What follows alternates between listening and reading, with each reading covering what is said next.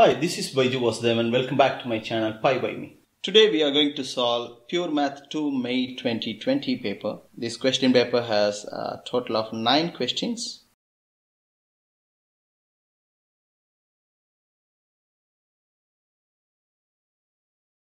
Question number 1, part A. Find the first 4 terms in ascending powers of x for the binomial, ex binomial expansion of 2 minus x upon 4 to the power 10. Giving each term in its simplest form, the question carries 4 marks. Okay, here they want you to write the first 4 terms of this binomial expansion. So you need to know the binomial expansion first.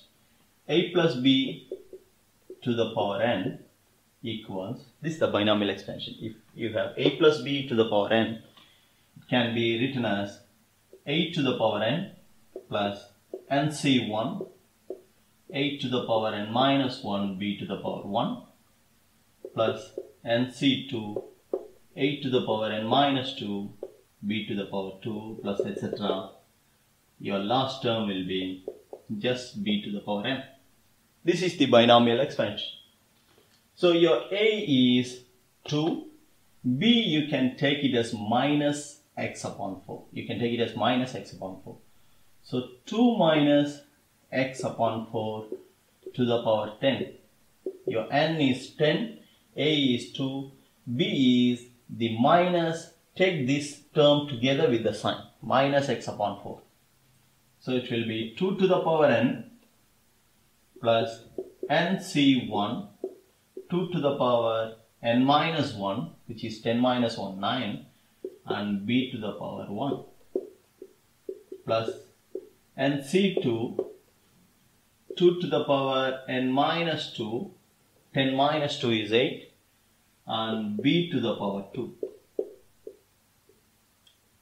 plus nc3, nc3, 8 to the power n minus 3, 10 minus 3 is 7, and b to the power 3. So I have 4 to the power 3. That's it, we got 4 terms 1, 2, 3, 4. Now we need to simplify this. If you want to find the values of this 10C1, 10C2, 10C3, use the NCR button in your calculator and type like 10C1, 10C2. You can straight away get the value of this. Now 2 to the power 10 is 1024 plus 10c1 is 10 times 2 to the power 9 will be half of this. 512 times x upon 4 this minus minus into plus is minus. I'm going to put it as minus here. Then 10c2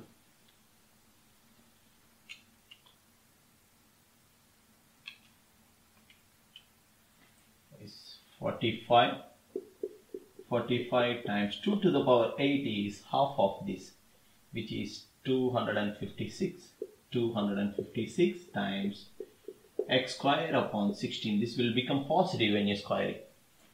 Then here it's going to be negative because when you cube this it's going to be negative. So plus into minus minus 10c3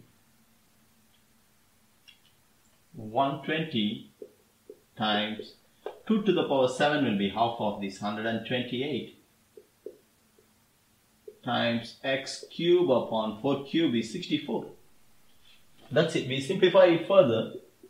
1024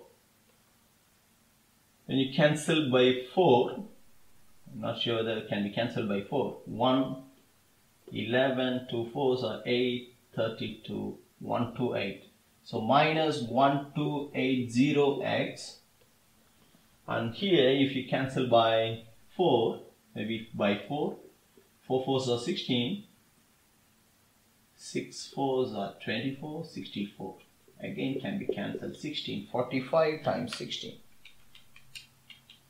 720 x squared. Minus here 264 so minus 240 x cube that's it So we got the four terms, first four terms of uh, this expansion in ascending powers of x. That's all. When you, you need to be very careful when you simplify here. Now part B. Hence find the constant term in the series in the series expansion of 3 minus 1 upon x whole square into 2 minus x upon 4 to the power 10. The question carries 3 marks.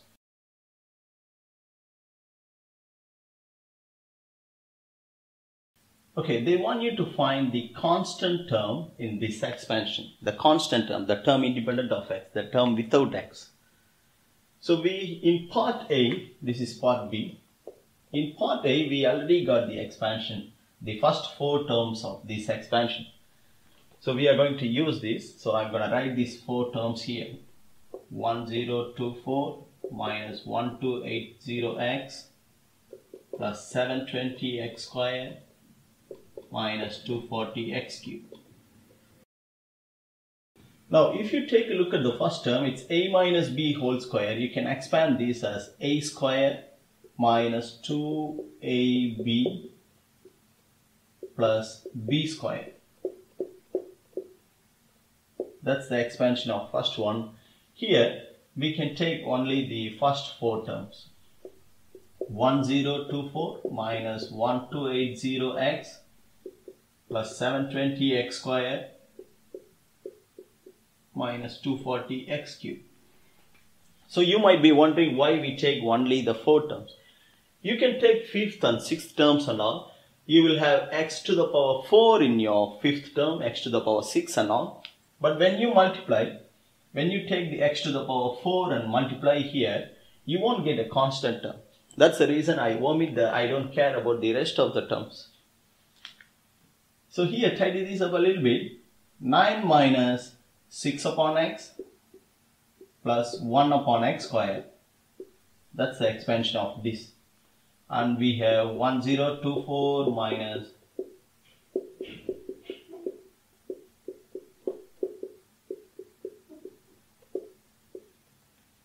Now, we need to multiply them and take only the constant uh, or before multiplying, you can just uh, be a little bit small. Just pay attention to each and every term. When you take this 9 and multiply everything, e each term will have x in it apart from this term. When you multiply 9 by 1024, that's a constant term. So you can just take this 9 times this term. So when you pay attention to the second term, when you multiply this by this, you will have x in it. But when you multiply minus 6 upon by 6 upon x by this term, your x can be cancelled. So you will get a constant term. And if you multiply this by the rest of the terms, you will have x in it. So I'm going to omit them. Again, same goes for 1 by x squared. 1 by x squared can be multiplied with this in order to get a constant term. So you have 3 multiplication, 9 times this, minus 6 upon x times this, 1 upon x squared times this, and simplify that is your constant term. So 9 times 1024, 9216 then minus into minus plus your x can be cancelled 6 times 1280 7680 plus when you multiply these two terms, your x square will be cancelled. You have 720. So this is what we do when they ask for a term, a constant term or term, uh, the coefficient of x or coefficient of x square. You don't need to multiply everything. You always need to uh, consider the terms one by one and check which which term can be taken up without without multiplying everything. So in this case, you don't need to multiply all the terms by each and every term here. That's a tedious process, that's a long process. But by looking at it, you know, when you take 9 and multiply everything, the three terms will have x in it. The only constant term is this, 9 into this. Then if you take minus 6 upon x and multiply everything, you will have x here, x here, x here. But here the x will be cancelled. So that's considered as a constant term. And same for this also. So now just uh, simplify them. So it will be 1600, okay.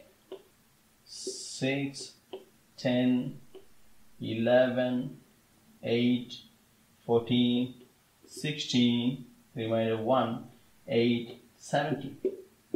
17616 after multiplying everything this will be your term which is independent of x the constant term